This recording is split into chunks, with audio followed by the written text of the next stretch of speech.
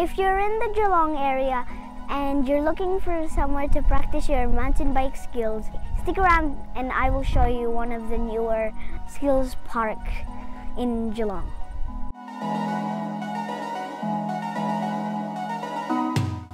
We're at McCubbin Drive Reserve and this is, this park is actually a playground but it happens to actually have a mountain bike track on it. This is a map of the flow.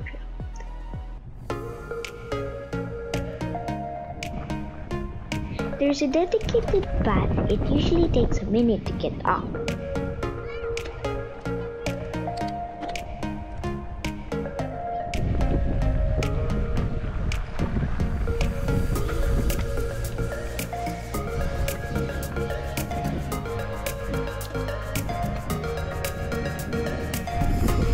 And only the last part is steep, but which is a bit challenging for beginners. This park is suited to smaller children apart from the trail. There is a wide range of equipment such as water play, sand pits, slides, and swings, and more. There is also a barbecue and basketball court for everyone.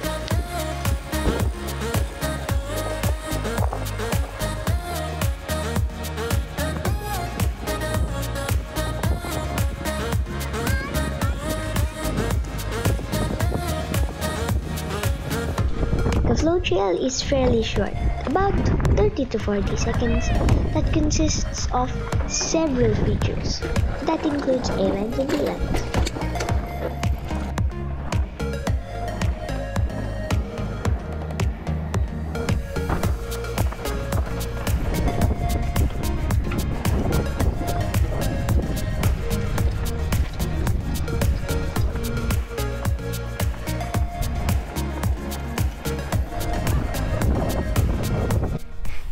It's a fairly basic bike park, but you can. It's an. It's actually quite a nice place to overview your basics in terms of jumping and going through berms tight.